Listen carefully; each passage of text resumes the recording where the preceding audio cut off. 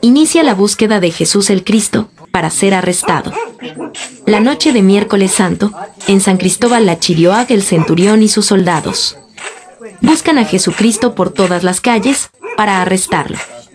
Según las escrituras, los momentos más oscuros y tristes del Hijo de Dios empiezan en la noche que se retiró a orar en el huerto de Getsemaní. Las costumbres y tradiciones de la Chirioac siguen intactas, gracias al respeto que todavía existen en los ancianos del pueblo.